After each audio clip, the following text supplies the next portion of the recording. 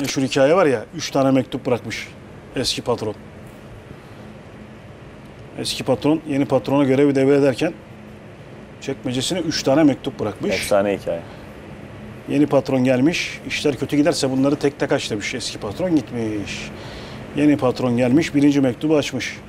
İşler kötü giderken orada demiş ki geçmişi suçla.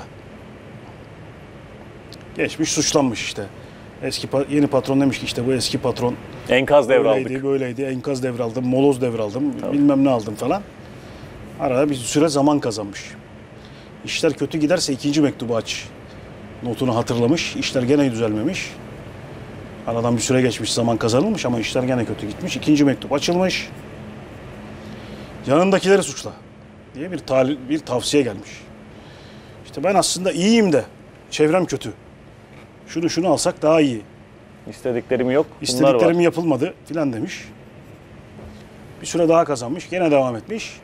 Ama işler bir türlü toparlanamayınca üçüncü mektubu açma zamanı gelmiş. Üçüncü mektupta şu tavsiye yazıyormuş. Sen de üç mektup yazmaya başla.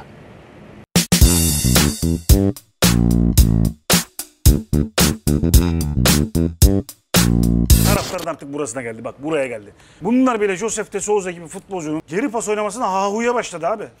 Trabzon maçına ben Ahu'yu şahidim. açar mısın Serdar abi? Ahu'yu. maçında ahu oldu. Güzel açtın abi. Tamam mı? Yani